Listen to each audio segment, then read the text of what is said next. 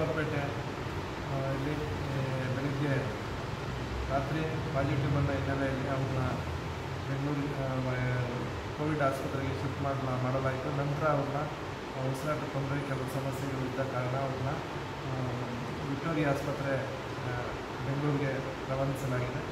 ಅವ್ರಿಗೆ ಈಗ ಟ್ರೀಟ್ಮೆಂಟ್ ಕೊಡ್ತಾ ಇದ್ದಾರೆ.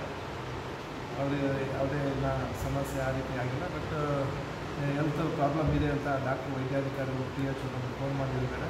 ಜೀವಂತವಾಗಿದ್ದಾರೆ. ಅದು ಕೆಲವು ಬೆಳಗ್ಗೆ ಮಾಹಿತಿಗಳು ಕೆಲವು ಸರಿಯಾದ ರೀತಿಯಲ್ಲಿ ಕಂಡಿದೆ ಕೆಲವು ಮಾಹಿತಿಗಳು ವ್ಯತ್ಯಾಸಗಳಾಗಿ ಕಂಡುಬಂದಿದ್ದಾರೆ ಈಗ ಅವರು ಆಸ್ಪತ್ರೆಯಲ್ಲಿ ಟ್ರೀಟ್ಮೆಂಟ್ ಪಡಿತಾ ಇದ್ದಾರೆ. ಐಸೋಲೇಷನ್ ಇದು ಇದು ಐ ಸಿ ಯುನಲ್ಲಿದ್ದಾರೆ ಐ ಸಿ ಯುನಲ್ಲೇ ಟ್ರೀಟ್ಮೆಂಟ್ ಪಡಿತಾ ಇದ್ದಾರೆ. ಅವ್ರಿಗೆ ಒಳ್ಳೆಯದಾಗಲಿ ಅಂತ ನಾವು ಬಯಸ್ತಾ